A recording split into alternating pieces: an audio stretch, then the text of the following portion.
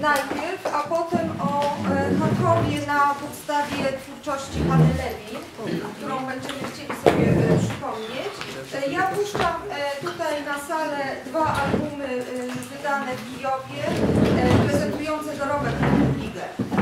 Zanim powiemy o samej Kulturligę, chciałam jedynie przypomnieć, bo ci, którzy uczestniczą w kursie, o tym już wspominaliśmy, że pierwsze dekady XX wieku przyniosły bardzo bujny rozkwit kultury jidysz. E, Wiązało się to oczywiście ze zmianą statusu samego języka, e, który został uznany za jeden ze sposobów rewitalizacji żydowskiej identyfikacji e, narodowej.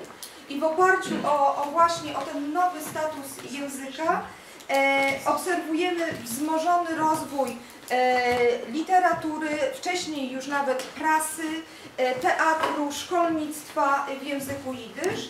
E, I co jest też ważne, na początku XX wieku zmienia się geografia tak zwanego Jidyszlandu, bo o ile wcześniej zdecydowanie e, ten e, prym, nie mówię o dawnej e, literaturze, ale o tej XIX-wiecznej e, prym wiodła Europa Środkowo-Wschodnia, prawda, kiedy mówiliśmy sobie o klasykach, o Mendele Mojchersfolimie, Szolemie Alejchemie i Itzhaku Lejbuszu e, Perecu, tylko wspominaliśmy, oni wszyscy byli związani z Europą e, środkowo-wschodnią.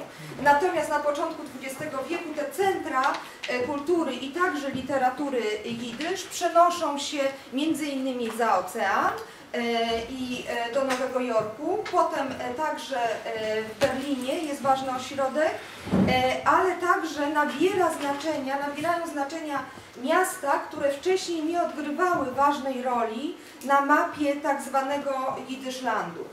E, I takim miastem przede wszystkim jest Kijów. Kijów, który y, y, ma, odegrał kluczową rolę dla rozwoju awangard, e, awangardy żydowskiej, ale także w ogóle stworzył model świeckiej kultury jidysz i funkcjonowania, stworzył model struktur dla funkcjonowania świeckich, świeckiej e, kultury jidysz. E, Kijów y, nie miał dobrej sławy e, w, ś- e, w, świecie, w świecie żydowskim. Było określane jako Goisze Sztot, e, czyli, czyli gojskie miasto i, e, i nie cieszył się dobrą opinią. Były miasta, które były określane na przykład Jerusalem, Delite, to było, to było Wilno, czy e, de Jeru- e, Jerusalem, e, e, Polin, to, była, to był Lublin. Kijów nie cieszył się taką dobrą, e, dobrą opinią e, wśród Żydów, ale już e, pod koniec XIX wieku, jak może e, pamiętacie, e, mieszka tutaj Szolem Rabinowicz i wokół niego tworzy się grupa, którą mówi, na którą którą się nazywa Chochme Kijew, czyli mędrcy z Kijowa. To jest oczywiście ironiczne, ponieważ e, oni, nie, e, oni są zupełnie w nowy sposób mędrcami, prawda? To jest, to jest takie pewne wyzwanie rzucone tradycji, bo oni nie, nie są mędrcami w tym dawnym rozumieniu mędrców Tory, tylko prawda, tworzą nowe środowisko e, świeckiej, świeckiej kultury. I, ale to nie oni tak naprawdę Nie, te- nie, to, nie ta grupa zdecydowała o zupełnie wyjątkowej roli e, Kijowa e, na mapie e, właśnie e, kultury, e, kultury e, jidysz, tylko e, przede wszystkim e, okres, kiedy powstaje, powstaje tutaj e, kultur, e, kulturligę.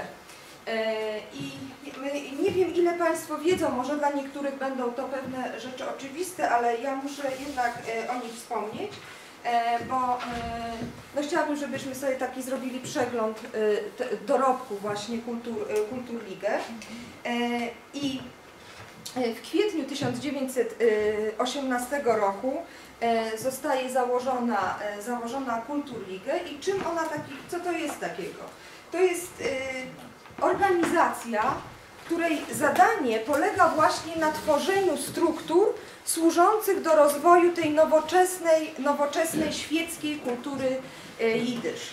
E, I co jest rozumiane tutaj jako kultura? Bo jak wiemy, to definicji kultury jest bardzo wiele. Jakie gałęzie będą szczególnie rozwijane w ramach Kulturligę? E, e, Na pierwszym miejscu chyba trzeba wymienić edukację e, i e, sieć, e, sieć e, nie tylko szkół, ale już przedszkoli. E, To jest bardzo, bardzo charakterystyczne dla, właśnie dla działań Kulturligę, że traci, tracą jakie, na znaczeniu jakiekolwiek e, podziały w znaczeniu kultura wysoka, kultura niska, e, marginalizowana na przykład e, e, literatura dla dzieci, e, dla nich staje się priorytetem. To jest, to jest pewnego rodzaju e, rewolucja. Jak wiecie, literatura dla dzieci ogólnie raczej jest zawsze traktowana tak trochę po macoszemu, prawda? Jako, jako nie taka literatura poważna, nie przez duże L. Natomiast y, w Kulturlidze e, literatura dla dzieci staje się w zasadzie priorytetem, ponieważ e, oni mają podejście takie, że trzeba sobie wykształcić odbiorcę kultury. Jeżeli nie będzie się go kształcić od samego początku, to on nagle potem nie, zna, nie, nie zacznie być wysmakowanym odbiorcą kultury, prawda?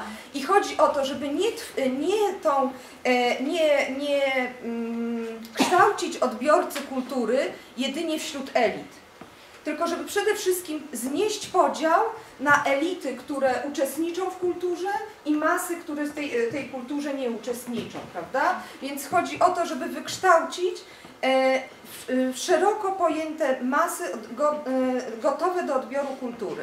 Jak to robić? Od samego początku wydawać dla nich różne formy, dawać im możliwość uczestnictwa w różnych formach kultury na najwyższym poziomie. Czyli na przykład do książeczek dla dzieci, do ilustracji książeczek dla dzieci będą zatrudniani najwyższej klasy artyści, między innymi Mark Chagall, prawda? E, e, e, czyli za, założenie było takie, że oto najlepsze siły jednoczymy i robimy wspólny taki front kulturowy. Wracając do tego, jakie, jakie, są, jakie są dalsze, czyli edukacja, literatura. Literatura i tutaj dużo także takiego otwartego podejścia do eksperymentu. To jest e, interesujące, ponieważ właśnie te, dzięki temu otwarciu na eksperyment e, mogła zaistnieć literatura awangardowa w ramach, w ramach e, Kulturligę. Oprócz tego także teatr i e, sztuki plastyczne.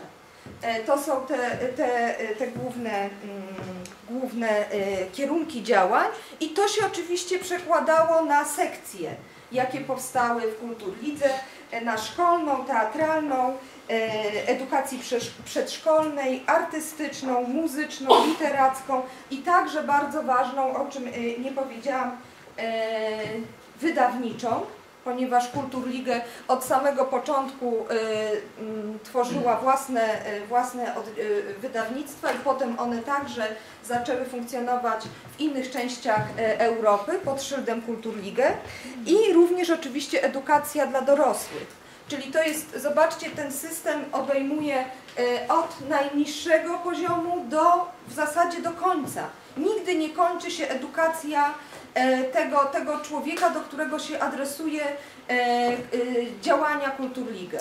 On ma cały czas po, e, mieć jak gdyby pożywkę dla swojego rozwoju. E, I mm, jak, e, jak, to, jak to się stało, że e, była możliwa tak, tak duży sukces, prawda? Tak duży sukces tego, e, tego pomysłu stworzenia takiej, e, takiej organizacji. Tutaj trzeba wspomnieć o wsparciu Ministerstwa Spraw Żydowskich, e, ówczes, e, ówcześnie e, działającego, e, czyli było poparcie struktur państwowych. I to też jest pewnego rodzaju nowin, prawda? Właśnie w obrębie, w, obrębie ówczesnej Ukrainy e, ta, ta e, e, kultura jidysz otrzymuje wsparcie państwowe.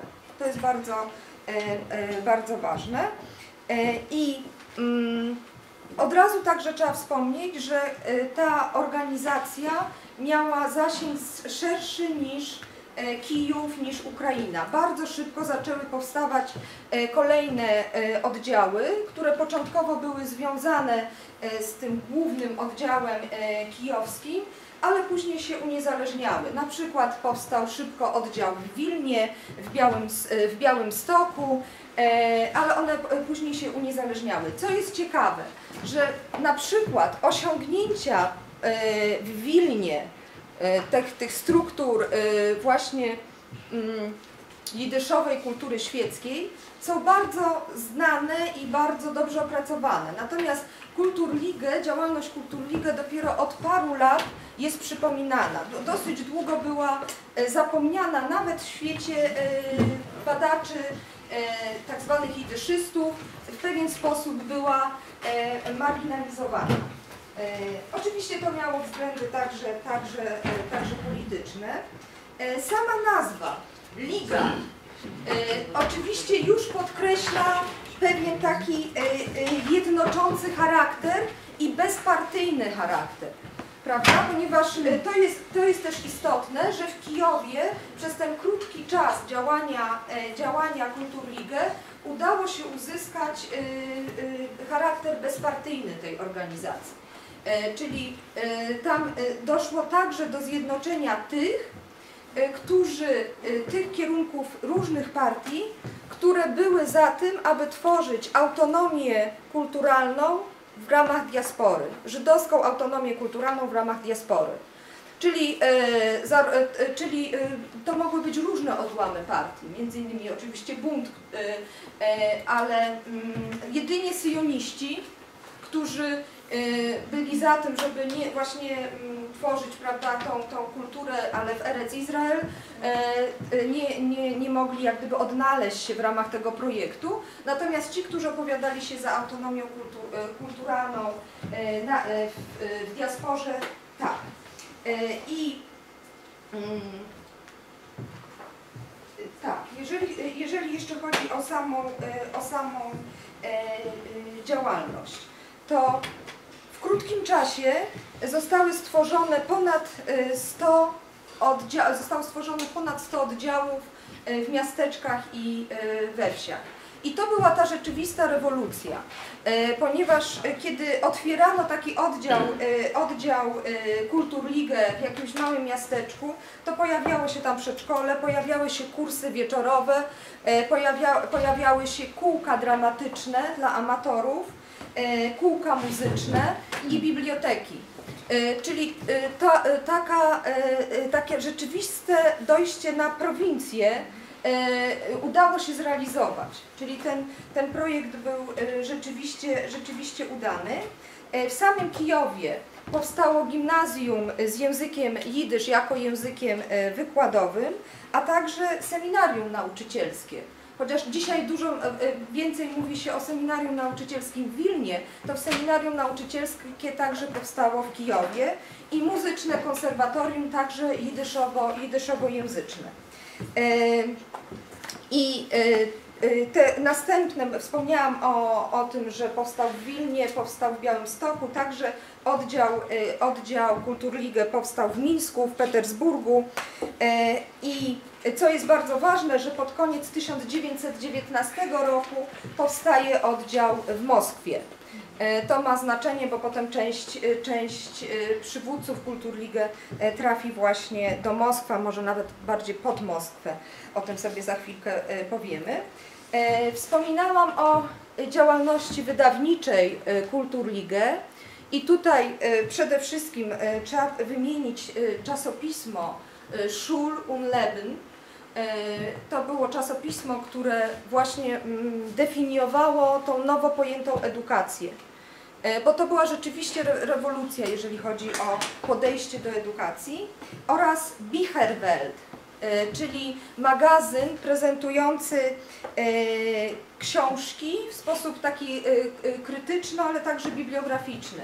Niezwykle cenne źródło obecnie E, kiedy się prowadzi jakiekolwiek badania nad literaturą jidysz, e, to Bicherwelt jest e, bardzo, bardzo cennym, bardzo cennym źródłem. Ważne także, żeby wspomnieć, że Kulturligę odbudowała również instytucje zniszczone w czasie pogromów.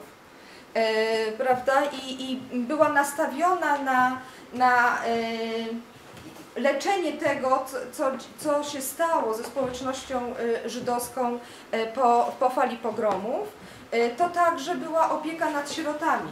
Czyli ta, ten program edukacyjny, o którym mówię, bardzo często był wpajany, był wprowadzany w sierocińcach i jako, jako miejscu, gdzie można go było realizować. I druga, druga połowa 1920 roku to jest moment, kiedy żydowska sekcja ukraińskich bolszewików chce przejąć Kulturligę.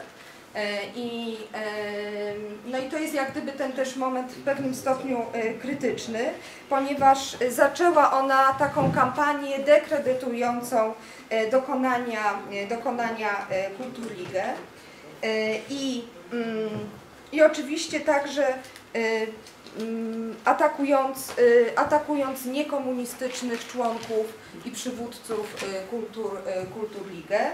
Czyli to jest moment, kiedy zaczyna się coś, co na, określa się jako proces y, komunizacji, y, komunizacji y, kultur Ligę i pod koniec 1920 roku dochodzi do rzeczywistej komunizacji i upaństwowienia. W 1922 roku wiele oddziałów tych na prowincjach zostaje zamkniętych. To jest zgodne z tym, tym myśleniem o centralizacji prawda, które, które było bardzo mocno gdzieś e, e, w, w sowieckim systemie zakorzenione e, i, i te dokonania, które udało się zrobić dosyć szybko, te oddziały są dosyć szybko zamykane. W wyniku takich działań wielu działaczy opuszcza, opuszcza Kijów. Opuszcza Kijów, przenoszą się do Moskwy. Tam na przykład dołącza do nich Mark Chagall. E, I mm, w tysiąc, y, mm, to może jeszcze o, o wystawach, to sobie jeszcze powiemy, jak będziemy oglądać obrazy, e, bo cały czas tej działalności, o której mówię, organizacyjnej, towarzyszą także działania artystyczne, to, towarzyszą wystawy. E, wystawa w 1920 roku malarzy związanych z Kulturligę, w 1922 roku wystawa tak zwanych trzech, też e, związanych, związanych z Kulturligę. E, po 1924 roku w zasadzie brak świadectw o, o działalności Kulturligę tutaj w rejon, na, na terenie Ukrainy. Wydawnictwo pod tą nazwą zostaje zamknięte w 1931 roku. Paru członków wyjechało, Kulturligę wyjechało do Polski i w 1921 roku e, przeszczepiło, można powiedzieć, ideę Kulturligę e, do e, Warszawy. I mm, mm, tam także zostaje otwarte wydawnictwo, które, które nazywa się Kulturligę i wznowione zostaje Bicherwelt ten y, przegląd książek y, wychodzących w języku jidysz. Co jest bardzo ważne, że to właśnie środowisko związane z Kulturligę założyło, można powiedzieć, i wspierało wydawanie, wydawnictwo Literarische Blätter, to była najbardziej prestiżowa, e, najważniej, najważniejsza gazeta e, literacka, ale także dotycząca w ogóle życia kulturalnego e, żydowska wychodząca w Europie Środkowo-Wschodniej do 1939, czyli Literalische Blätter także ma swoje korzenie, jeżeli chodzi o tych, którzy wspierali właśnie e, w, kultur, e, w Kulturligę. E, ta Kulturligę także wspierała działalność Jungtheater w Warszawie, czyli teatru artystycznego, a teatru awangardowego żydowskiego. O teatrze jeszcze będziemy sobie mówić w czwartek. Ale zmagała się, działając już poza, już, już jesteśmy w tym okresie, kiedy ci przywódcy wyjeżdżają z Kijowa, Kulturligę ciągle zmaga się z problemami finansowymi i w 1925 roku zostaje przejęta przez bunt. czyli zostaje przejęta przez w zasadzie jedną, jedną partię i staje się, można powiedzieć, takim bundowskim oddziałem kultury. Wcześniej to było bardzo ważne, Kulturligę, ligę podkreślało ten, ten charakter jednoczący różne, różne opcje. I i takim, takim oddziałem w zasadzie pozostaje do II wojny e, światowej. E, ważne oddziały, jakie powstały, to Rumunia, Ryga. E, tutaj także trzeba wspomnieć o tym, że e, ta działalność później także obejmuje e, kluby sportowe, że Kulturligę także, także wspiera, wspiera działalność e, sportową. Mm. E, I w 1920 roku zostaje założony oddział e, w Paryżu. E, to jest dosyć istotne. W Ameryce zostaje założony oddział w 1922 roku przez Ezrę Kormana. To jest bardzo ważna postać dla filologii jidyszowej. Ezra Korman jest autorem między innymi wydania Mm, antologii poetek jidyszowych, o których będziemy sobie wspominać e, na, na naszej drugiej części wykładu. E, I on także potem wraz z nim e, najpierw tworzy oddział w Nowym Jorku, potem w Chicago. I powstają nawet oddziały w 1935 roku w Meksyku i w Argentynie. No i jeszcze oczywiście wcześniej, nie, nie wiem czy wspomniałam, w Berlinie. E, to jest, Berlin staje się też takim bardzo ważnym miejscem, gdzie trafiają e, twórcy, twórcy związani e, z kultur, z kultur Ligę. Jeżeli byśmy chcieli jakoś scharakteryzować samą ideologię, to jest to takie, taka wersja jidyszyzmu, tego co się nazywa jidyszyzm. Co jest ciekawe, niektórzy nawet tacy zapaleni działacze Kulturligę mówili o tym, że Kulturligę będzie trzecią świątynią czyli e, e, e, świątynią świeckiej kultury żydowskiej. I ta wersja jidyszyzmu otrzymała nazwę kultur, kulturligizm. To był pewien typ, pewien typ postawy, typ postawy bardzo też zresztą aktywnej. Zobaczcie, że każdy z tych działaczy, nawet jeżeli wyjeżdża z Kijowa i trafia gdzieś, on tam natychmiast zakłada kolejny oddział. E, I, I to jest, prawda, ta, w nich ta idea żyje i oni po prostu są zarażeni e, e, rozszerzaniem jej, przenoszeniem jej. Czyli jeszcze raz, to, jeżeli chodzi, to jest jidyszyzm, czyli narodowa autonomia w diasporze. To jest ta, ta ideologia.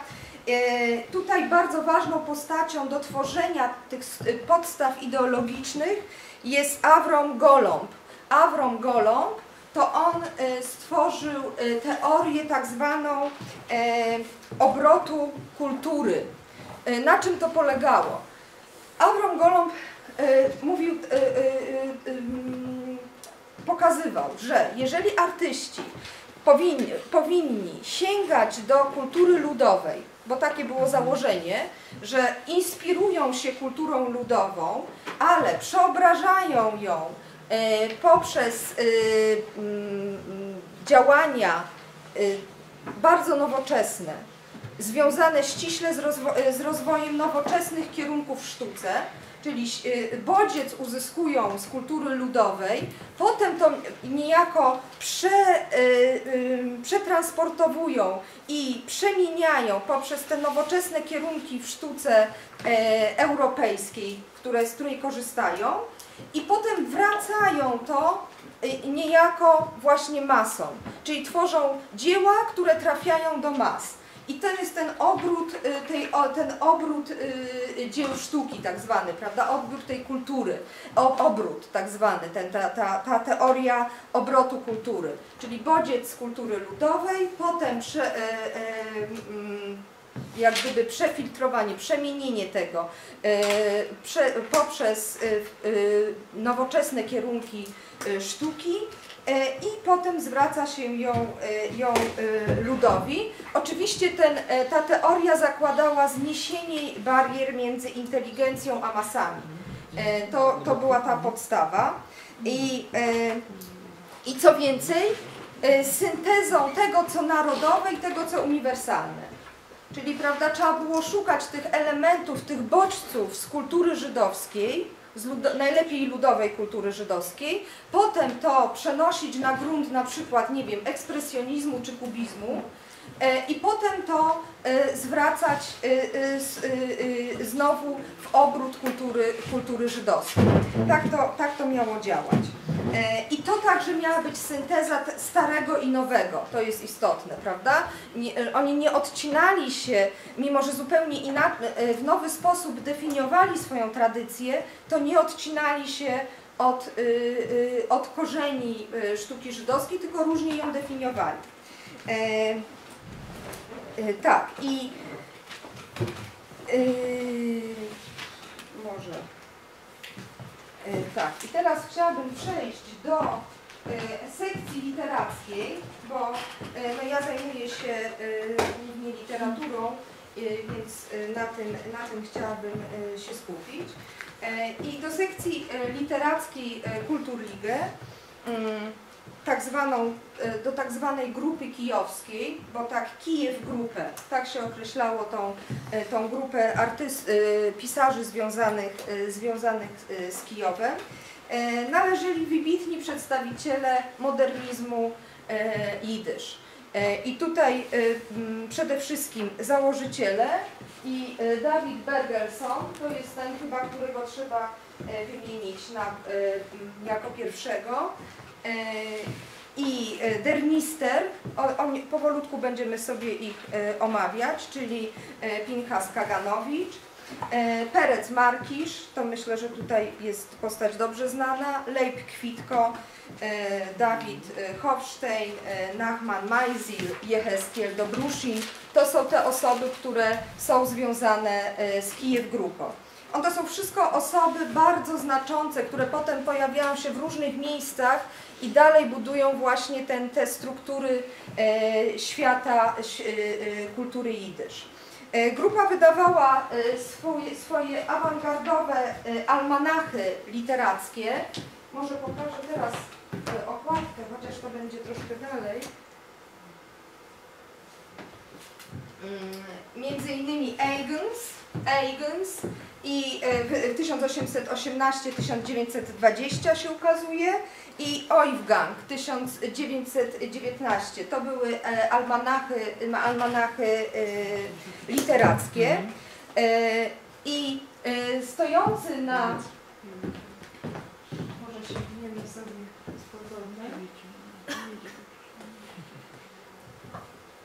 E, Stojący na czele e, grupy Dawid e, Bergelson e, cieszył się już e, w momencie powstawania e, Kulturliga i Kijew Grupę e, takim, można powiedzieć, już uznaniem wśród e, elit e, żydowskich, intelektualnych E, i miał on opinię e, pisarza nowoczesnego i eksperymentującego. Był e, prozaikiem. E, W 1913 roku wydał on e, powieść, dzieło Noch Alemen, taki jest tytuł, Noch Alemen. I jest ona uznana, e, ta powieść jest uznana za pierwszą powieść e, modernistyczną Widysz. Temat jej bardzo zaszokował czytelników. To był taki swoisty, swoisty nawet skandal, bowiem bohaterka Noch Alemen, Miryl Hurwitz, która później nazywana jest często Madame Bovary, żydowską Madame Bovary, e, ona porzuca tradycyjne małżeństwo, e, ucieka z małego miasteczka, ucieka ze Sztetla, znudzona jest takim dusznym marazmem panującym e, w tym, w tym miasteczku. E, i mm, ucieka do miasta, gdzie dokonuje aborcji, ponieważ jest, jest, jest w ciąży i bez powodzenia szuka niezależnego życia w dużym mieście. E, Całość kończy się dosyć e, smutno, ponieważ ona jednak e, nie znajduje swojego miejsca i, i wraca, i wraca do, do, swojego, do swojego miasteczka. Ale powieść ta pok- pokazuje można powiedzieć tak, obnaża pewne mechanizmy społeczne, które skazują kobietę żydowską na wyalienowanie e, i na taki brak samodzielności. To jest e, chyba główny temat tej, tej powieści. Ale o nowatorstwie Bergelsona nie zadecydował jedynie temat, bo to jak gdyby nie, no, nie, nie stanowiłoby o wartości y, jego twórczości jako tej twórczości artystycznej, ale przede wszystkim technika narracji i styl jego pisarstwa, to znaczy taki zrytmi, y, taki przeniknięty pewnym rytmem i bardzo aluzyjny styl. To jest, tak, to jest, no, to jest nowatorstwo, to jest, to jest coś zupełnie innego, z czym mieliśmy do czynienia E, czytając klasyków, e, tak zwanych klasyków e, żydowskich, on świadomie operuje takim niedomówieniem, skrótowością, przemilczeniem. Nie wszystko jest dopowiedziane, nie wszystko jest, jest, jest oczywiste. E, ogólnie cały obraz, razem ta, ta narracja w, połączenia z, w połączeniu z tematyką buduje taki dosyć pesymistyczną wizję zarówno E, człowieka, jak i relacji człowieka ze światem e, i wskazuje na takie ograniczone możliwości komunikacyjne między ludźmi. Niemożność jak gdyby pokonania pewnych barier e, komunikacyjnych. Mm. Na łamach Eigens, tego czasopisma literackiego, o którym wspominałam, Bergelson opublikował taką drugą ze swoich najważniejszych powieści, Obgang, czyli ściek. Jak po ukraińsku jest ściek? Taki, gdzie się wylewa, pomyje i to ścieka tam. Ściek, No, kanał u nas można, a ściek to jeszcze tak jak ściek jest coś takiego, tak? E, I ten obgan, e, ta powieść pokazuje, e, pokazuje taki tragiczny, tragiczny los młodego pokolenia żydowskiego. Ukazana tam zostaje taka duchowa emocjonalna i intelektualna pustka, w jakiej żyją e, młodzi ludzie, którzy na skutek procesów modernizacji zostali oddzieleni od tej tradycyjnej kultury, a jak gdyby na miejsce tego, co e, zajmowało ich przodków, w zasadzie nie znaleźli niczego, niczego nowego. I, i pojawia się taka wyrwa, pojawia się, pojawia się pustka przemiany w twórczości Bergelsona, e, jak i e, sama jego, e, jego biografia, w zasadzie można ją uznać za takie egzemplum losów pisarzy, którzy, którzy widzieli szansę na stworzenie właśnie tej nowoczesnej kultury jidysz, łącząc to ze zmianami rewolucyjnymi w Rosji. E, i, i narodzinami nowego systemu politycznego. E, ponieważ jego, jego droga, Bergelsona, wiodła od tego awangardowego skrzydła jidyszyzmu w Kijowie, następnie przeszedł on etap berlińskiej e, emigracji i w latach 1921-1934 przebywał, przebywał w Berlinie i po tym jak Kulturligę została przejęta przez bolszewików, jego twórczość oczywiście była oskarżana e, o burżuazyjność i stała się obiektem bardzo silnej, e, silnej e, krytyki. Po czym on wraca do ZSRR i przeżywa nawrócenie na socjalizm. I po czym w 1949 roku zostaje aresztowany i zostaje y, w 1952, 12 sierpnia, zostaje stracony razem y, z przedstawicielami, najwybitniejszymi przedstawicielami literatury jidysz. W 1952 roku zostali straceni, y, straceni najwybitniejsi twórcy języka jidysz, którzy byli związani z Związkiem Radzieckim. I ta droga to jest pewien schemat, który się będzie powtarzał wśród wielu twórców e, złączonych właśnie e, z Kulturligę. Taki tragiczny, tragiczny schemat e, biografii. Według tego samego tragicznego właśnie porządku ułożono założyło się życie, życie e, Pereca Markisza, e, twórcy też związanego z grupą e, kijowską, który obecnie jest uważany za jednego z najważniejszych poetów żydowskich e, XX wieku. E, Jego pierwsze znaczące e, dzieła e, ukazały się na łamach e, wspomnianego wcześniej niezależnego politycznie Eigens, bo Eigens było niezależne e, polityczne w 1918 roku. E, Drukował także w prokomunistycznym e, czasopiśmie Baginien. E, To jeżeli chodzi o początki, te, który także ukazywał się w Kijowie. Członkiem partii został dopiero w 1942 roku i jego poezja, jeżeli byśmy tak syntetycznie chcieli powiedzieć coś o poezji e, Markisza, to łączy taką mroczność ekspresjonizmu. Ekspresjonizm to był ten kierunek, który głównie oddziaływał na e, literaturę i sztukę żydowską. E, czyli tą mroczność ekspresjonizmu łączy z taką swoistą zabawą i eksperymentem słownym łączącym go z futuryzmem.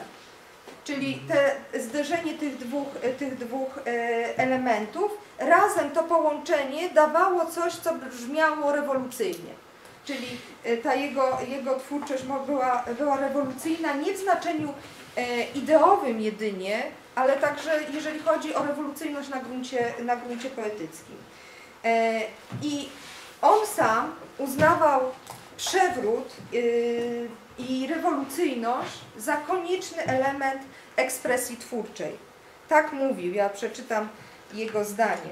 Duch kreatywności ludzkiej i duch rewolucji są tak zespolone ze sobą, że ciężko jest powiedzieć, który generuje który. Tak, mm, e, tak pisał. E, Pod koniec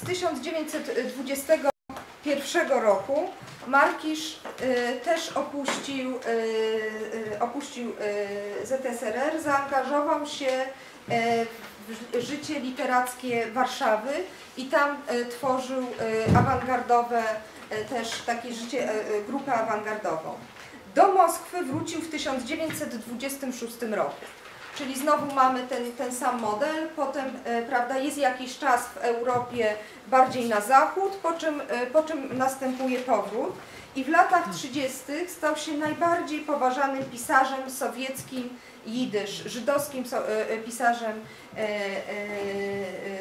e, sowieckim. I można powiedzieć, że podporządkował swój talent propagandzie komunistycznej. E, W, latach 1939-43 stał na czele sekcji Związku Pisarzy e, Sowieckich, jidyszowej sekcji. E, I podobnie jak Bergelson w 1949 zostaje aresztowany i stracony w 1952 roku. I obecnie za najbardziej przełomowe dzieło Pereca Markisza uznaje się jego poemat epicki e, Die Kupe, czyli stos. Stos? E, Jak to jest? Stos na czym się, tak, tak samo. Zaraz sobie przeczytamy fragment. Który był e, reakcją na falę pogromów, e, jaka, jaka poraziła społeczność e, żydowską na Ukrainie w 1921 roku. Jest to bardzo drastyczny utwór. Nie wiem, czy, y, y, y, czy on jest powszechnie znany na Ukrainie, czy nie. E, Jest to bardzo drastyczny utwór, który w taki plastyczny sposób opisuje krwawe, krwawe skutki rzezi. E, Jest on takim skrzykiem gniewu, rozpaczy, rozgoryczenia, ale też wszystko przeniknięte jest takim sarkazmem i groteską. To jest bardzo istotne i takim dogłębnym poczuciem zbrukania, rozumiemy co to jest zbrukanie, zanieczyszczenie siebie i, i e, własnego dziedzictwa. E, e, Czyli taka, taka e, niemożność wyrwania się z tego, co się dokonało, ponieważ to zostawia trwały ślad taki, w postaci takiej e, właśnie poczucia bycia w pewien sposób nieczystym w tym, w tym mm, podmiocie, który, który tutaj przemawia. Może byśmy sobie przeczytali fragmencik. Ktoś może głośno przeczytać? Ja może. To proszę, tak, proszę znaleźć tutaj, e, tam w spisie treści, nie, bo mi się zamknęło, przepraszam, w spisie treści e, Markisza i e, Dikupę otwórzmy sobie. Ja może w międzyczasie będę mówić, mówić dalej. Wyjątkowo na tle grupy kijowskiej prezentuje się twórczość kolejnego pisarza pozostającego e, w jej kręgu, e, to znaczy mistera, e, czyli Pinchasa e, Kaganowicza. I tutaj od razu widzimy, że on ma pseudonim, wy to znacie już wcześniej, ale tutaj pseudonim ma zupełnie inne znaczenie niż to, o którym mówiliśmy sobie przy pisarzach XIX-wiecznych. Mówiliśmy, że u pisarzy XIX-wiecznych i dyszowych pseudonim to był e, te, to, czym posługiwali się e, w obrębie literatury jidysz, a ich własne nazwisko było zarezerwowane do, dla literatury hebrajskiej albo e, literatury języka zewnętrznego. W przypadku Dermistera to jest coś innego i chciałabym, żebyśmy się na chwilkę zatrzymali przy jego pseudonimie, bo on jest znaczący. Dernister, e, co to znaczy? Czy ktoś się spotkał z tym pojęciem na, na łamach e, w obrębie kultury żydowskiej? Mister to je Riczka. Nie. Mister. Mister to znaczy ukryty. Ukryty i, e, i to, jest, to jest pewien.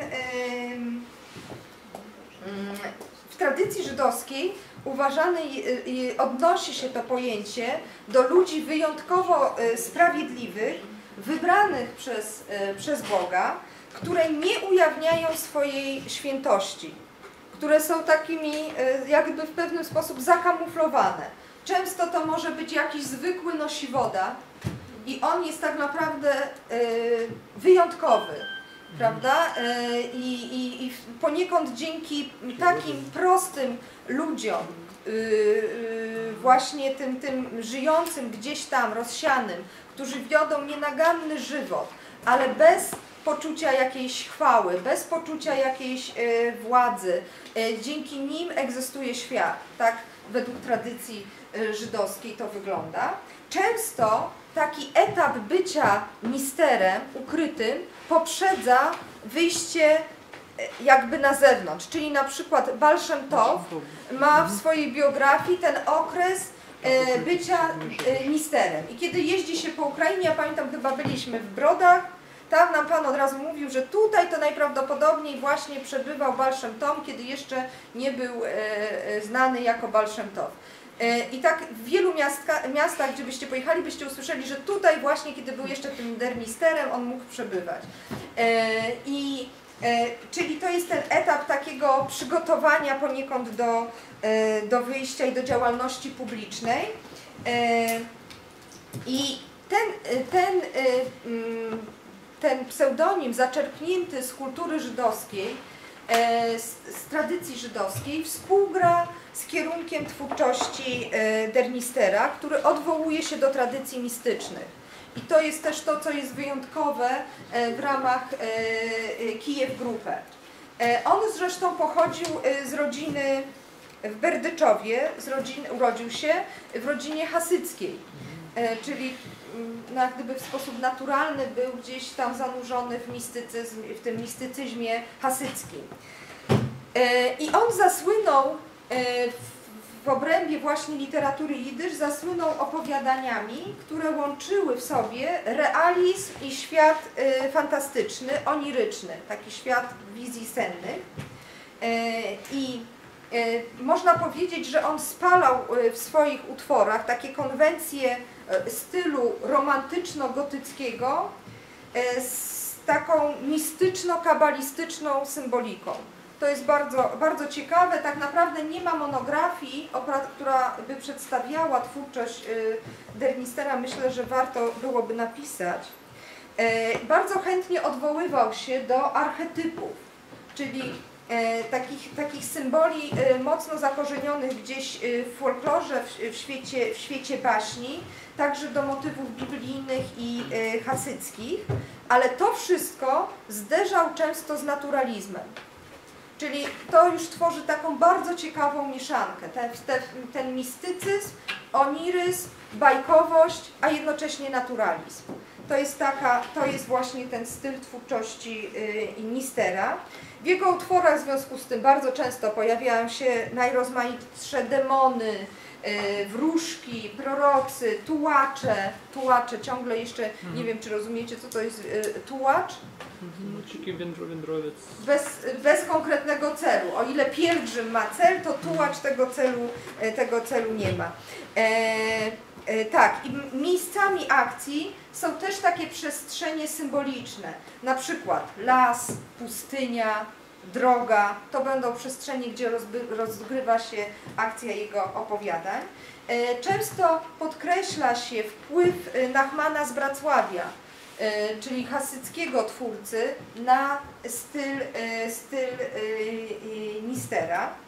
E, I szczególne znaczenie w jego dorobku e, w twórczości ma powieść Die, e, Mischpoche Maszber. E, To zostało, która została opublikowana, pierwszy tom został opublikowany w 1939 roku e, w Moskwie, e, drugi i e, tom w Nowym Jorku w 1948. I jest to taki realistyczny, o dziwo, bo tak jak mówię, ten, wcześniej jego twórczość bardziej jest taka bajkowa. On zresztą tłumaczył Andersena na e, jidysz. E, To jest e, i, i, i wyraźnie był także nim zafascynowany. I ta Di- Dimish Pochemaszber zawiera taką realistyczny, dokumentalny opis dziejów jednej generacji rodziny żydowskiej, żyjącej w latach 70. w XIX wieku w miasteczku, którego pierwowzorem był Berdyczew. E, I, i to jest, i, o, i, e, i ta, ten jego opis jest rzeczywiście taki realistyczny, bo myśmy sobie mówili o tym, że e, o ile chodzi o, o, o klasykę, to często to jest krytyka miasteczka, potem idealizacja miasteczka. O tyle u Mistera jest to, jest to dosyć realistyczny opis. I podobnie jak inni pisarze związani z Kijew e, grupę, e, Dernister opuścił w 1921 roku e, ZSRR, przebywał w Berlinie, bo ten Berlin staje się taką mekką wtedy tych pisarzy i, i artystów żydowskich. Po czym w 1926 roku wraca, wraca do Moskwy. E, Bardzo trudno było mu, się dostosow- było mu dostosować wymogi twórczości sowieckiej dla, dla e, no, swojej drogi twórczej. Rozumiecie, ten jego e, korzenie mistyczne, ten oniryzm, ta bajkowość, to zupełnie nie współgrało z typem realizmu socjalistycznego. E, I został bardzo mocno, był bardzo mocno atakowany przez krytykę marksistowską, aresztowany w 1949 roku, zmarł e, w szpitalu e, więziennym w 1952, gdyby, nie- e, 50, gdyby nie, nie zmarł w tym szpitalu, zapewne byłby stracony w 52. E, Więc to jedynie przyspieszyło jego, jego zgon. To, e, e, Omawiając dorobek literacki grupy kijowskiej, trzeba bardzo mocno podkreślić wartość artystyczną publikowanych książek w ramach Kulturligę. Tutaj krąży jeden z albumów, który właśnie pokazuje ilustracje do książek. I, e, I to, tak jak już wspomniałam, bardzo często do literatury jidysz. I co jest ważne, że to nie są dwa odrębne niejako byty w jednej książce, że mamy ilustrację i tekst. Tylko ten praca nad tą książką to była praca wspólna. I to jest rzeczywiście uzys- uzyskało się taką integralną całość w tych książkach, gdzie często elementy graficzne dopełniają tekst i służą interpretacji tekstu, czyli stanowią pewną drogę odbioru. To jest integralna, integralna całość. E, oczywiście z tego środowiska, ja nie będę o tym mówić e, dużo, ale no chciałabym przynajmniej e, wspomnieć, wyszli także wybitni, mm, wybitni artyści, prawda? E, I bardzo wiele można by tych nazwisk wymieniać, w zasadzie cała plejada e, mm, artystów y, żydowskich przewinęła się przez Kulturligę, tych awangardowych. Tutaj jeszcze mamy zdjęcie y, z Malachowki, to jest pod, to pod Moskwą był sierociniec dla dzieci, gdzie właśnie zjechali się ci najwybitniejsi artyści i pracowali z tymi dziećmi. Tutaj z przodu widzimy zresztą y, Chagalla, za nim siedzi y, Dernister.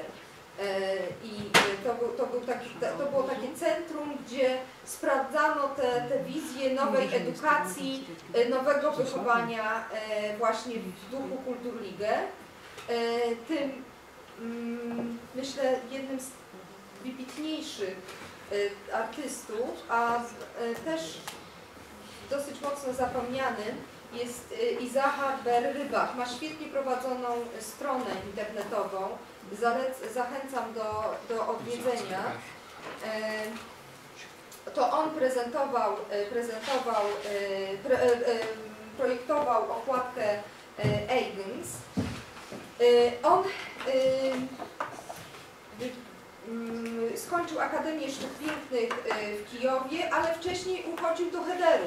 To jest też charakterystyczne, że oni często otrzymywali wychowanie jeszcze tradycyjne, e, tradycyjne żydowskie e, i mm, utrzymywał kontakty z rosyjską awangardą. To jest też istotne, jeżeli patrzymy na, na dzieła ówczesnych e, żydowskich artystów, że one nie dzieją się w próżni, prawda? Oni mają tą współpracę i, i tak samo jest na gruncie literatury z, z przemianami awangardowymi e, w całej Europie. Bo popatrzcie, co się dzieje. Ci twórcy z jednej strony mieli kontakt e, najpierw e, z rosyjską awangardą, potem przenieśli się w większości do Berlina albo do Paryża i tam mieli kontakt z zachodnią awangardą, czyli i zarówno z takim na przykład ekspresjonizmem e, wschodnim, jak i ekspresjonizmem zachodnim i oni to przenosili na grunt swojej, swoich dokonań. E, To jest, to jest e, istotne. W 1916 roku Ber, Izachar Ber-Rybak razem z Lisickim jeździli po, w ramach Towarzystwa Etnograficznego, jeździli po sztetlach, po żydowskich miasteczkach, tam gdzie e, e, była społeczność żydowska i e, kopiowali e, malowidła e, z drewnianych synagog i z motywy na cmentarzu. Tam jak gdyby szukali tego pamiętacie, mówiliśmy, ten bodziec dla tworzenia nowoczesnych dzieł, mogą to być dzieła awangardowe, czerpie się z tej kultury ludowej. Czyli oni w tych synagogach i na macewach szukali tych bodźców, które potem mogliby e, poprzez sztukę awangardową zamienić w coś nowoczesnego. E, I mm, e, to, to on w 1918 roku założył w Kulturlidze e, oddział artystyczny. I dla Kulturligi tworzył także e, studium teatralne, ponieważ to była ta jedność tych artystów i to współdziałanie w tych sekcjach. To jest też coś, co zawsze mi się bardzo podoba, kiedy czytam o Kulturlidze. Czyli e, prawda, je- je- jest załóżmy rybak, on zarówno ilustruje książki, jak i robi scenografię do teatru, e, prawda, że, te działania się, się wymienia, jest jak gdyby taka wymiana dobrami artystycznymi, talentami e, artystycznymi. Tak, więc u niego bardzo wy- wyraźnie widać tą syntezę żydowskiej tradycji artystycznej i takiego radykalnego, radykalnego modernizmu. Jego ojciec zginął w pogromie i właśnie obrazy przedstawiające pogrom e, e, w Kijowie to są, to są obrazy takie e, bardzo przejmujące i myślę bardzo charakterystyczne dla, dla właśnie dla, dla rybaka I, i chciałabym, żebyśmy sobie przejrzeli ich parę. To też, y, co jest charakterystyczne, prawda? Z jednej strony taka, y, taki pewien prymitywizm, nawiązujący gdzieś nawet do właśnie jakichś ilustracji e, ludowych, ilustracji bajkowych, ale jednocześnie, kiedy się przyjrzycie, to treść jest, jest wstrząsająca, prawda? Obrazy y, y, przedstawione są, y, są, y, są wstrząsające. To jest bardzo częsty motyw. Za chwilkę będziemy sobie czytać Hanę Lewin, która znowu w twórczości opisywała e, masakry. E, e, To, to właśnie masakry dokonywane na kobietach ciężarnych. Tutaj mamy, mamy taki właśnie obraz.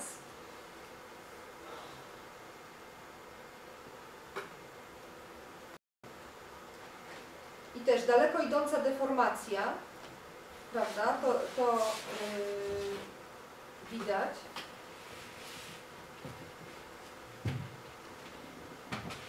I też ten styl tak naprawdę często jest utożsamiany jedynie z Chagallem, prawda? Na, na tym okresie. Tak na, ale Chagall był owocem pewnego klimatu w sztuce ówcześnie żydowskiej. On nie był jedyny. I y, tutaj myślę, że właśnie po twórczości, e, twórczości Rybaka to też widać. Bardzo często mm, buduje coś takiego jak taką jakby macicę, w której ukryte, y, ukryte są postaci. Ten motyw się u niego często pojawia. Te domki, widzicie, te domki takie powywalane, porozwalane, to także widzieliśmy wczoraj u Szagala. To są pewne elementy wspólne. Tutaj y, Aleph Base, jego obraz. Stara kobieta i koza.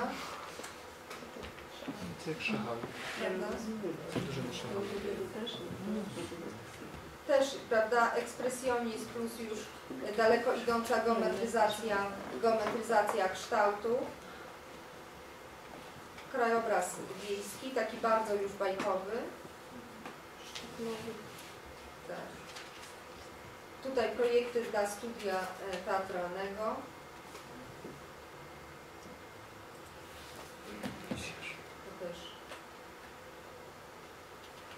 Tak, i drugim z tych y,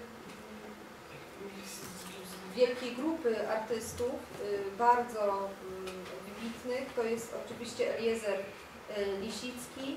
Parę rzeczy, przynajmniej tych ilustracji, bo wspominaliśmy sobie o ilustracjach do książek, zobaczmy sobie.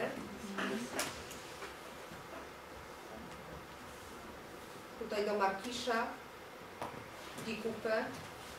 Pani, już, y, pani, y, tak już y, y, znalazłaś, zaraz sobie przeczytam.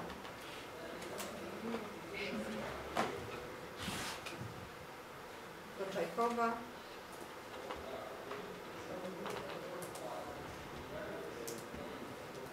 Może przeczytajmy sobie na koniec fragmencik, fragmencik Szmarkisza. Y, ja mam przykład e, Polski, jeżeli można by, byśmy znaleźć. To miasto tkwi po biodra zanurzone w ciszy, coś w tym stylu. No, e, a jakiej mamy? To w moim wychodzi trzeci.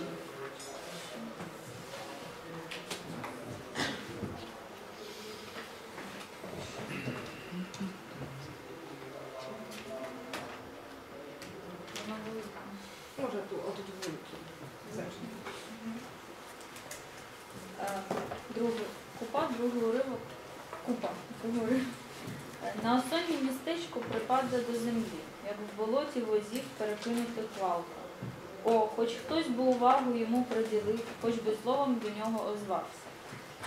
Перепілка чи вітру на заході зойк, е, і засліплі дахи, мов жебрацькі долоні. О, з потятого листя, потятих зірок, всемогутньому руки червоні. Я б, я б в молитві з'єднався з тобою, Господь, замість твою сивину, богохульством бруднити і серце, і рот, руки, що відмолились, тобі простягну. І в десяте клину, от тобі, от, як собака хлебчи припадає скаженій, з ран роздертої шкіри, кривавицю гнію.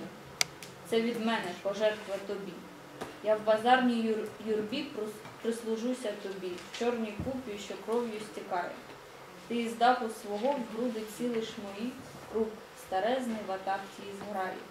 Моє серце те серце, що молилося ревно, спільні куплі непотребу рися у смітнику. Дзьобають, блубається м'ясо, возами смердючими кревано, перетравиш пожертву таку.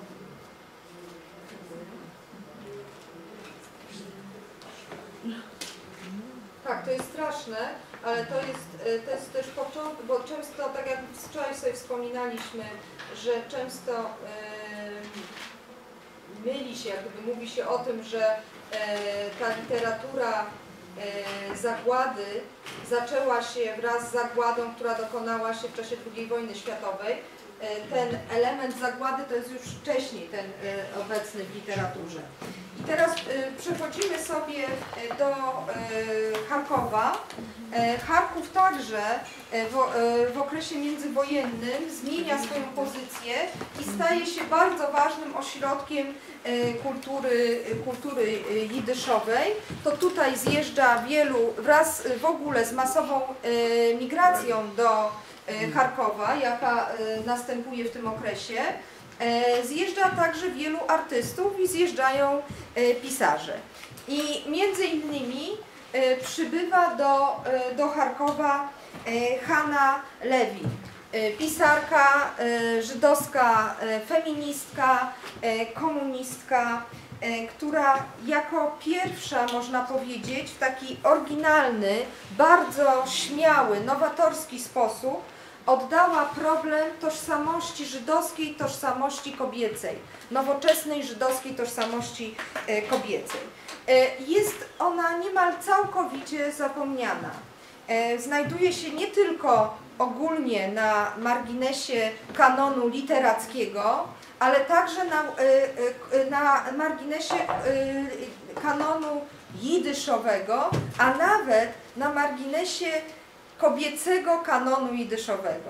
Ponieważ od paru lat obserwujemy coś takiego jak zainteresowanie twórczością kobiet w języku jidysz, wychodzą pewne antologie, które w Stanach, które prezentują dorobek poezji jidyszowej kobiet, ale tam Hanny Lewin nie znajdziecie. A ja uważam, że jest to, bo ja się zajmuję akurat po, e, poezją kobiet, piszę z tego habilitację i uważam, że Hanna Lewin jest jedną z najciekawszych e, poetek. Na pewno znajdują, znajduje się w czołówce dorobku poezji, poezji ówczesnej, poezji kobiet w szczególności. I myślę, że ona, jej postać jest Wam całkowicie nieznana. E, Dlatego chciałabym powiedzieć parę, parę słów o jej, e, o jej biografii. Ona urodziła się, nigdy tego nie mogę wypowiedzieć, Jekaterynosławie e, w 1900, 900 roku jako, jako jedno z, z siedmiorga, siedmiorga dzieci. I ojciec jej był grabarzem i był pobożnym Żydem. O, ma, o matce wiemy mało, nazywała się Sofia e, z domu Grünberg. E, e, Hanna ukończyła szkołę zarówno żydowską, jak i rosyjską. Zajmowała się krawiectwem. E, To jest w ogóle też ciekawe, że bardzo wiele poetek jidyszowych przechodziło etap bycia kraw, krawcową, a potem etap bycia nauczycielką. Oba te etapy Hanna Lewin też, też przeszła. I e, zaczęła pisać swoje wiersze najpierw po rosyjsku i potem za namową Lejba Najdusa, to znaczy też e, e, poety żydowskiego, przeszła do twórczości w języku, w języku jidysz. Czyli musiało to być około 1915 roku, czyli pisała już mając 15, 15 lat, bo wtedy Najdus przebywał w Jekaterynosławie. I to jest pewna taka prawidłowość. Bardzo często w biografiach poetek jidysz znajdujemy taki element, że czy to brat, czy mąż, czy kochanek namawiają i te kobiety do tego, żeby przejść e, na język jidysz. To jest ciągle się gdzieś to tam e, pojawia.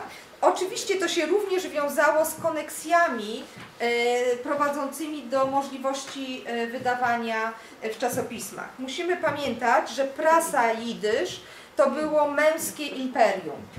W redakcjach naprawdę kobiety można by policzyć bardzo nieliczne. Prasa, komitety redakcyjne, to wszystko, wszystko prowadzili mężczyźni i pisarki, poetki nie były traktowane jako równorzędny partner w tym męskim e, imperium.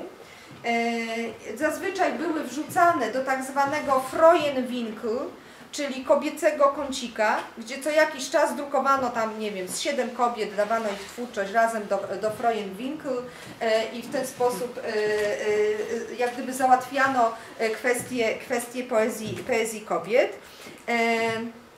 E, e, Lewin zadebiutowała w 1918 roku e, na łamach petersburskiego Volksblatt i jej wiersze także zamieścił wspomniany już wcześniej Perec Markisz w, w antologii Trep, wydanej w 1921 roku w Jekaterynosławie. E, e, tak, uczyła się w Moskwie e, w Instytucie Języków Obcych e, w latach 1939-1940. E, Ale w czasie wojny e, domowej w ZSRR Hanna e, wkroczył, weszła do Armii, Armii Czerwonej i tam funkcjonowała jako partnerka komisarza, który zginął w 1922 e, roku. I w tym związku Hanna miała dziecko, ale ono albo zmarło zaraz po urodzeniu, albo urodziło się martwe. To możemy wyczytać z jej wierszy. To będzie ważny motyw. E, Po rewolucji ukończyła seminarium nauczycielskie i jakiś czas uczyła w szkołach, w szkołach żydowskich i potem zamieszkała też, e, właśnie zamieszkała w Charkowie e, e, i e, otrzymała mieszkanie w Słowie. To był e, taki dom dla pisarzy, dla pisarzy i artystów e, żydowskich. Oczywiście to było pewnego rodzaju zobowiązanie, prawda? Kiedy, za, kiedy pobierasz pewne e, profity z bycia pisarzem, no natychmiast też w pewien sposób stajesz się z, zobowiązany. E, tam mieszkali także Leib Kwitko, Perec Markisz, bywał często i Cykwefer e, w tym, e, w tym słowie, czyli e, najwybitniejsi wcześniej tak uznani za najwybitniejszych twórców. Ona ich wszystkich znała, przyjaźniła się z nimi. E, I w 1929 roku ukazał się w Charkowie jej debiutancki, e, najważniejszy tom poezji e, Cusztejer. I tam został zamieszczony cyrk wierszy Die Frau, czyli kobieta. I to jest taki manifest feministyczny Hany Lewin. Bardzo, bardzo ciekawy. A także w tym, w tym zbiorze e, Cusztejer znajduje się zapis doświadczeń kobiety żołnierki, bo ona była, y, y, szła normalnie z armią i miała doświadczenia, to, to jest coś zupełnie nowego, nie dość, że Żydówka, nie dość, że kobieta, to ona staje się, stanie się y, żołnierką.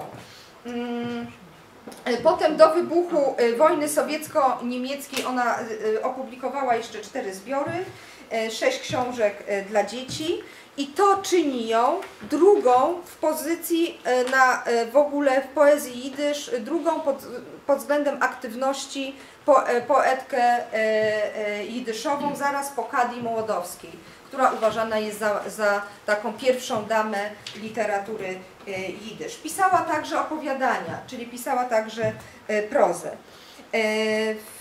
Tak, i jej najbliżsi przyjaciele, z którymi utrzymywała kontakty, zostali straceni. Czytaliśmy, prawda, w 1952 roku e, wraz z akcją wymierzoną przeciwko działaczom Żydowskiego Komitetu Antyfaszystowskiego. I ona e, cały czas w zasadzie żyła w pewnym stopniu w strachu, bo ją jakoś to ominęło, prawda? Mimo, że była z tym, w tym kręgu. E, Nie, nie została, nie została zamordowana. Zmarła w e, 1969 roku. I e, takim bardzo ważnym motywem jej twórczości jest problem bycia matką i w ogóle macierzyństwa jako takiego, postać matki to jest jeden z ważnych momentów. I ściśle on się wiąże także z tym, z tymi doświadczeniami wojennymi z lat 1917-1921. E, I ten manifest jej Difroy, kobieta, on właśnie e, koncentruje się na problemie bycia matką i bycia kobietą, której nie jest dane dziecka urodzić. I chciałabym, żebyśmy sobie przeczytali ten, ten jej e, wiersz. No niestety ja mam tylko tłumaczenia, tłumaczenie na język polski, ale przeczytajmy sobie przynajmniej tak. Niestety tłumaczenie. Mogę czytać? E, Przed kim?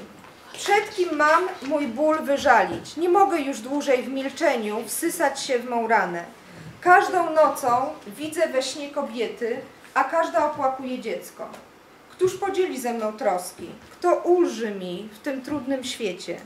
Każdą nocą widzę we śnie kobiety, ciągnie się je do bram za włosy.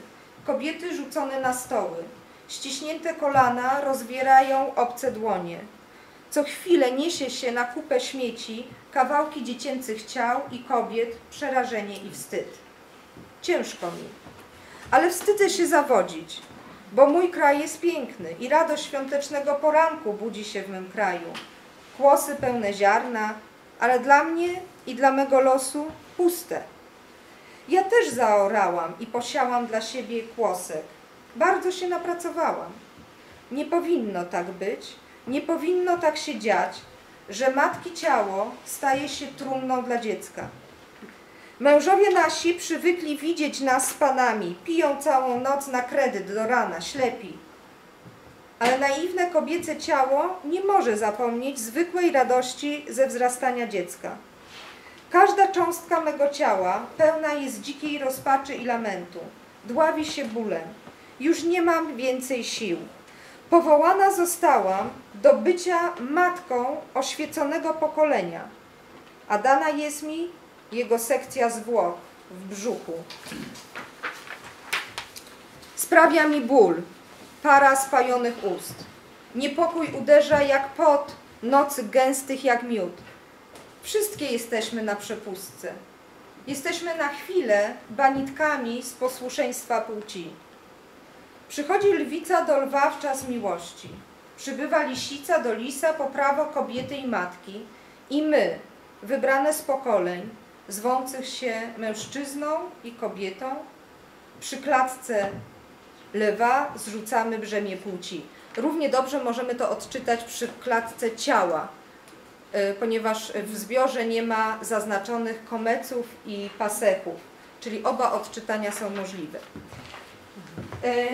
I w tym, e, w tym, e, w tym niezwykle drastycznym e, utworze, który otwiera debiutancki zbiór, to, jest, to się niezwykle rzadko zdarza, że tom, tom debiutancki jest najlepszym tomem, a tak mi się wydaje, że jest w przypadku Hany Lewin. W tym, w tym zbiorze widzimy, prawda, taki, słyszymy krzyk upominający się o prawa kobiet, których ciała zawsze stają się takim łupem w czasie e, niepokojów dziejowych, czy to wojen, czy rewolucji. E, I Lewin pisze w sposób bezpośredni nie tylko o gwałtach dokonywanych na, na kobietach, e, ale także o masakrach na ciężarnych, na ciężarnych kobietach. I co jest bardzo ciekawe, że ona nie stosuje jedynie opisu z pozycji obserwatora.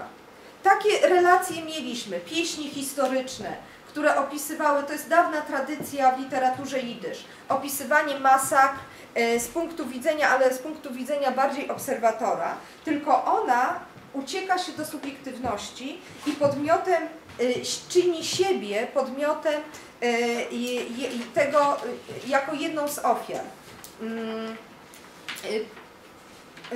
Czyli ona nie tylko pisze o tym, że e, opisuje wyrywanie dzieci z łon matek, to widzieliśmy także na tym u, u rybaka, e, ale opisuje perspektywę utraty dziecka e, ze swojej subiektywnej, sobie, subiektywnej perspektywy. I to jest zupełne nowum. To jest zupełne nowum. Ona bardzo czule nazywa dziecko wzrastające w sobie, w kobiecie, kłoskiem. Kłosek Kłos, tak? Rozumiemy. E, I motyw orania i siewu, orania ziemi i siewu jest często używaną metaforą na zapłodnienie. To jest bardzo często pojawiająca się y, metafora. Ale co jest ciekawe, u Lewin kobieta sama zaorała i posiała swoją glebę. I to jest zupełnie też coś nowego. Mężczyzna w ogóle nie, nie pojawia się u niej jako ten, który decyduje o poczęciu. E, To kobieta, jest powiedziane, napracowała się, aby wyhodować w sobie e, kłosek, e, wyhodować sobie człowieka. I, ale ten trud okazuje się zupełnie daremny, ponieważ jej ciało staje się trumną e, dla dziecka. O tym, o tym pisze. Poza tym podkreśla samotność kobiet. Ich mężowie top, topią swoje problemy w alkoholu. I, i one, ona w zasadzie jakby czuje zupełne osamotnienie. Bardzo brutalnie mówi o doświadczeniu śmierci drugiego człowieka we własnym żywym ciele. To jest też coś zupełnie nowego, prawda? E, e, tutaj powołana zostałam do bycia matką oświeconego pokolenia. To jest oczywiście takie sarkastyczne, prawda? Bo cała ta propaganda wczesna też mówiła o to, prawda? Oto teraz rewolucja, to teraz rodzi się nowe pokolenie. Powołana zostałam do bycia matką oświeconego pokolenia, a dana mi jest jego sekcja zwłok w brzuchu. Rozumiemy pojęcie sekcji zwłok. E, i- co więcej, sekcja zwłok to jest to, co się dokonuje po śmierci. E, Lekarze e, dokonują sekcji zwłok, żeby stwierdzić, jaka była przyczyna. I z takiego doświadczenia dalej wychodzi się okaleczonym. To nie jest tak, że to się kończy. Seks w niej budzi obawę. Ona mówi, sprawia mi ból para spojonych ust. E, czyli e, e, jak gdyby ten, to, to powoduje stałą jakąś w niej e, kalectwo, można powiedzieć. E, I e, od jednostkowego podmiotu pod koniec ona przechodzi do podmiotu zbiorowego i e, przemawia w imieniu kobiet, upomina się o własne, o własne e, prawa. Mówi, że na skutek przewrotu rewolucyjnego został zachwiany porządek społeczny. I nastąpiła, można powiedzieć, taka szczelina, rozumiemy pojęcie szczeliny, w patriarchalnych dziejach ludzkości. I jest jak gdyby moment, kiedy można upomnieć się o swoje, o swoje prawa. Ona mówi o prawa matek, prawda, prawa kobiet, e, ale jest to e, igranie z lwem, igranie z czymś tak naprawdę bardzo niebezpiecznym. E, I e, mm, można powiedzieć, że Lewin w tym wierszu łamie wszelkie tabu związane z macierzyństwem. A był to temat szczególnie traktowany jako swoiste sakrum na, na gruncie literatury, literatury e, jidysz. I e, postać kobiety, matki, służy u niej e, jako taki podmiot jej dążeń feministycznych. I to jest też nowum, ponieważ jednocześnie krytyka antyfeministyczna, żydowska, bardzo mocno właśnie pokazywała postać matki jako ten argument e, a, że, mm, przeciwko e, feminizmowi. Prawda? Mówiono, jeżeli feminizm będzie się rozwijał, to co stanie się z naszymi żydowskimi domami? Jeżeli kobieta opuści dom, będzie pracowała, to co stanie się z tą kolebką żydostwa, jaką jest rodzina? Y, Matka służyła jako taki sztandar, jako taka, e, taka e, mm, po prostu bariera antyfeministyczna. Natomiast Lewin czyni kobietę matkę podmiotem dążeń feministycznych. I to jest coś, to jest też coś, coś nowego. Mm, Nie wiem ile mamy czasu. 10 minut, więc chciałam jeszcze jeden, e, bo wierszy oczywiście ja mam bardzo wiele i mogłabym bardzo wiele opowiadać o wierszach Hanny Lewin, e, ale chciałam powiedzieć o jeszcze jednym utworze istotnym, e, który pokazuje też charakterystyczny motyw dla poezji kobiet w ogóle żydowskich okresu międzywojennego, to znaczy konflikt pokoleń, ale kryjący się w, e, poprzez zmianę ubrań. E, To jest bardzo ciekawy, ciekawy motyw i to jest e, i u Lewi Lewin to jest konflikt, takie zderzenie tradycyjnej, sztetlowej, małomiasteczkowej, żydowskiej tożsamości kobiecej z nowoczesną identyfikacją kobiety żyjącej rytmem wielkiego miasta. I to jest zderzenie jej z jej matką. Mm, I, I właśnie manifestacją tego konfliktu jest zmiana do własnego ciała, do cielesności, manifestująca się poprzez sposób ubierania. To jest zmiana po prostu podejścia do, do, do swojego ciała. Oczywiście o to, że ubranie jest pewnym kodem społecznym i kulturowym, o, to, o tym tutaj myślę nie muszę, nie muszę mówić, a że u Żydów szczególną rolę odgrywa ubranie, bo Żydzi byli albo ubierani przez nieżydów, albo sami e, utrzymywali pewne elementy ubrania, żeby się różnicować. E, Także ubranie kobiece e, było regulowane szeregiem e, tradycji i praw. O tym sobie też wspominaliśmy. Przede wszystkim po ubraniu można było rozpoznać, czy kobieta jest panną, mężatką, wdową, czy aguną. Aguna to jest kobieta, której mężczyzna zaginął bez wieści, nie wiadomo gdzie jest. I ona jest w zasadzie poza, poza społecznością. Musiała chodzić na szaro, musiała dawać znak. Ja jestem, jestem aguną. Już to było widać po jej ubraniu. E, I e, o ile na stronach prozy jidyszowej znacznie rzadziej spotykamy zmianę ubrania kobiet, częściej to mężczyźni, przechodząc proces modernizacji, obcinają pejsy, e, e, zmieniają prawda, e, hałat hasycki na jakiś modny garnitur i tak dalej. Opisów zmian ubrania kobiecego na, na stronach prozy znajdziemy mniej, ale na w wierszach kobiet, właśnie idyszowych, w wierszach idyszowych znajdziemy tego dosyć sporo. I przeczytajmy sobie y, w takim razie jed- ten wiersz, o którym chciałabym, sukienki. Третя сторінка. Tak, jeszcze się kończy na piątek. Sukienki. W moich krótkich sukienkach, bez kołnierza i bez rękawów, takich gładkich, prostych, jak męskie koszule, w oczach mojej mamy wyglądam dziko i obco. Wstydliwie odwraca ode mnie wzrok i wbija go w podłogę. Moje ręce, nagie, odkryte dla słońca i świata, zadają jej taki ból i zgryzotę. W moich sukienkach nie widzi ona jarzma. Zbyt wiele odświętności w nich spoczywa. Za mało codzienności. Mamy codzienności, kobiet codzienności i tak dalej, i tak dalej.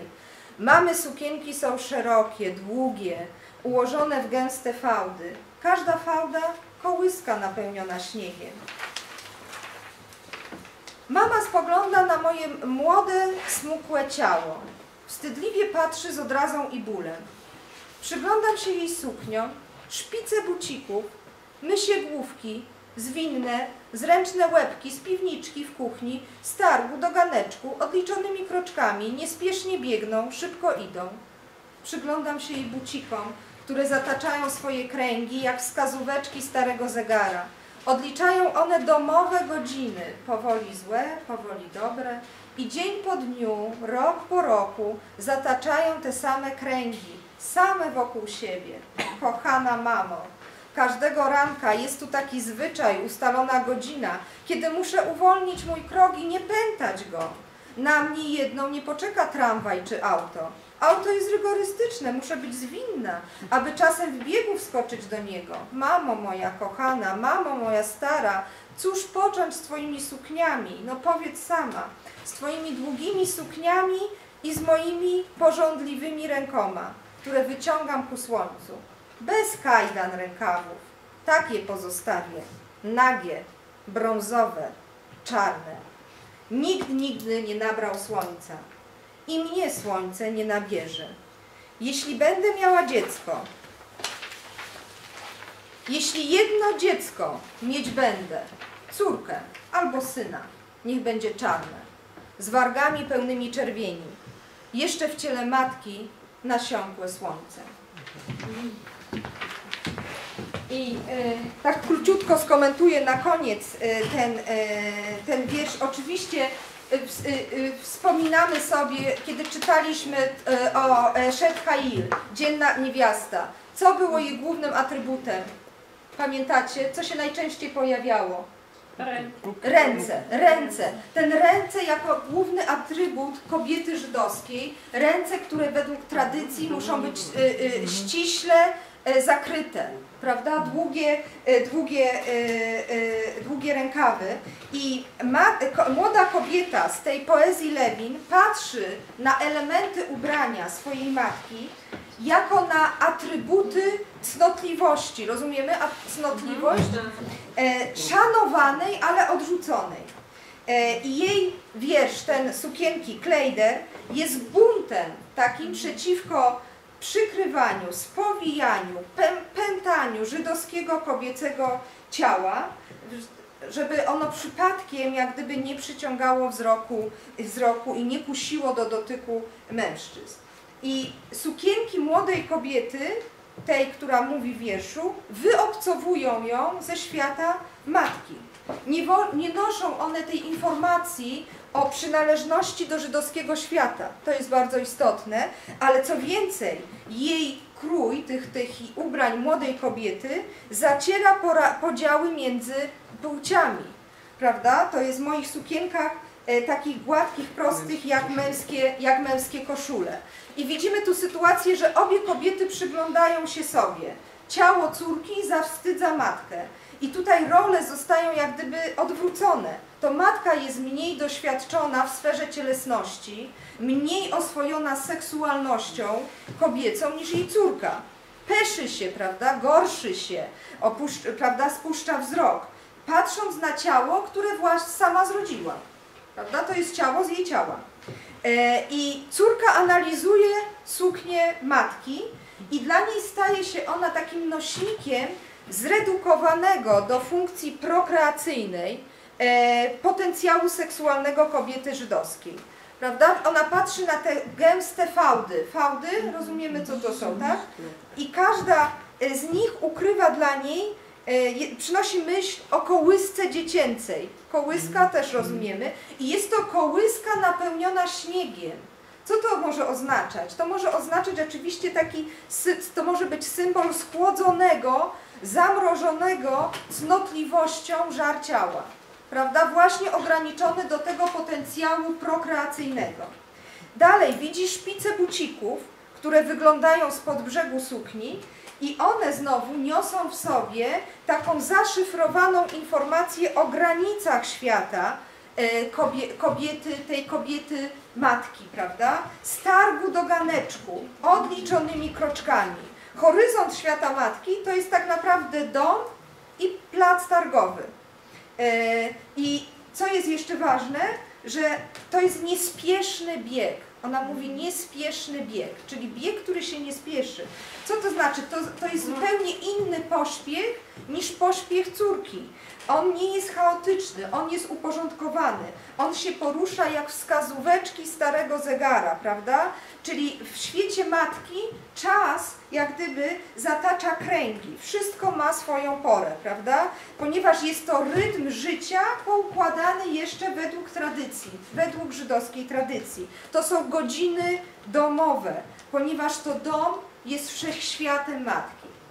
Zupełnie inna, inny jest pośpiech, y, pośpiech córki, która, prawda, jest powiedziane, musi być zwinna, żeby wskoczyć do auta, prawda, to jest zupełnie, y, zupełnie inna rzeczywistość. Ona nie może pętać swojego ciała. Mm, I, y, ale co więcej, to nie tylko chodzi o zewnętrzne y, warunki, które determinują jej ubiór, ale te suknie matki, jak gdyby w zderzeniu z jej ciałem, one by były jakby rozpierane od wewnątrz, ponieważ ona nie chce tłumić ognia swoich pragnień. Odrzuca skromność, od, odrzuca wstyd i pragnie spalać się w ogniu pożądania. Tutaj to symbolizuje słońce. Ona, prawda, mówi, wyciągnę moje ręce i, e, e, prawda, nagie, czarne do słońca. E, bez granic, bez żadnego umiaru, bez ostrożności, e, prawda, nawet niesie to ryzyko zatracenia, ponieważ e, mówi o tym, że słońca nikt nigdy nie nabrał, I zaraz przychodzi, jeśli jedno dziecko mieć będę. Czyli ona jak gdyby nie odrzuca tego elementu prokreacyjnego swojego ciała, ale jej dziecko, które się urodzi, będzie owocem namiętności, będzie owocem pożądania. E, rozumiemy? Czyli spalone słońcem tak naprawdę porządliwości swojej matki. Dlatego ono jest czarne. Jak kiedyś czytałam ten wiersz, to jeden z y, panów wstawił mi to, o to znaczy, że ona tutaj jest tak jakby, że chce mieć partnera murzyna, par czarnego. To, nie, to raczej tak tego nie możemy, nie możemy tutaj tego tak interpretować. E, Myślę, że tutaj chodzi właśnie o to spalenie w, w, tym, ś- w tym słońcu pożądania, pragnień. E, I, e, I w tym utworze właśnie pojawia się to wyzwolenie rąk z kajdan, kajdan, kajdan rękawów. Te nagie ręce stają się symbolem wolności seksualnej w poezji jidysz kobiet. E, I w zasadzie na tym chyba niestety musimy skończyć, chociaż no, e, to powiedziałam chyba jedną, jedną czwartą tego, co chciałam powiedzieć o Hanie Lewin. E, Zachęcam do zainteresowania się postacią Hany Lewin. Wiem już, że środowisko w Charkowie, które było tutaj na, szko- na szkole jest, będą jakieś akcje, żeby przypomnieć Hannę Lewin. E, e, Ja, ja bardzo bym się cieszyła, gdyby powstały dobre przekłady e, Hany Lewin. Chciałam tylko wspomnieć o tym, że, ja kiedy dowiedziałam się, bo jej córka napisała wspomnienia o swojej matce, takie krótkie, czy tak to było, o, o, wspomnienia z dzieciństwa, no i ja oczywiście znalazłam, doszłam do tego, zaczęłam to czytać, myślałam, że tam będą informacje o, o Hanie Lewin, ale jakim moim wielkim rozczarowaniem było, kiedy stwierdziłam, że ta córka, pisząc ten artykuł wspomnieniowy, pisze o Feferze, Kwitce i Markiszu, którzy bywali u nich w domu. To nie pisze w ogóle o swojej matce. E, jakieś trz- trzępy informacji można stamtąd wy, wy, wysunąć, wy, y, wyczytać. E, i, e, ale ona jak gdyby opisuje tych, którzy byli na parnasie literatury prawda, żydowskiej ówczesnej. E, i, mm, I jest to takie smutne potwierdzenie e, pewnych mechanizmów, rządzon, którymi rządzi się kanon. E, To właśnie te wspomnienia Edy Winogrodzkiej e, są tego, są tego dowodem. E, I e, dlaczego ona nie pisze o matce? No ponieważ chciała napisać o tym, co wydawało jej się ważne dla, i znaczące dla ogółu, czyli o autorach kanonicznych. Prawda? I żyjąc na, na co dzień ze swoją matką, wybitną poetką, ona nie dostrzegła potrzeby podzielenia się wspomnieniami o, o niej, przekazuje jedynie to, co udało jej się zapamiętać z wizyt tych wielkich e, poetów, ponieważ tak pisze na końcu. Oni byli kolosami żydowskiej poezji XX wieku. Byli znani nie tylko w naszym kraju, ale na całym świecie. Nasz naród może być dumny z tego, że wydał tej miary poetów. I moim zdaniem czasami jest tak, że te kolosy zasłaniają horyzont. I, i, i, i, mam nadzieję, że, że uda nam się wydobyć w pewien sposób y, z cienia kolosów Hanę Lewin. Y, dziękuję.